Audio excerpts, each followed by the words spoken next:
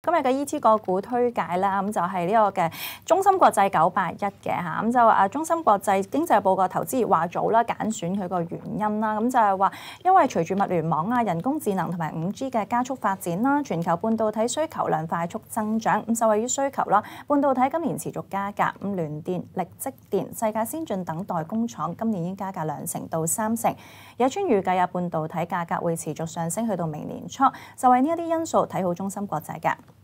咁中心咧會下個禮拜四就公布第三季嘅業績啦。管理層早前指引啦，第三季毛利率預料會超預期，預料達到大約三成二到三成四嘅，全年毛利率嘅目標就係大約三成嘅。咁市場預期啦，中心全年個盈利高增長。咁根據彭博綜合預測，中心今年個盈利大約係十三億七千萬美元，按年增長九成一嘅。咁就中心股價尋日逆市升咗百分之三點六啦。策略上咧可以喺廿二個半附近買入嘅，目標睇廿五蚊，跌穿廿一蚊就減持嘅。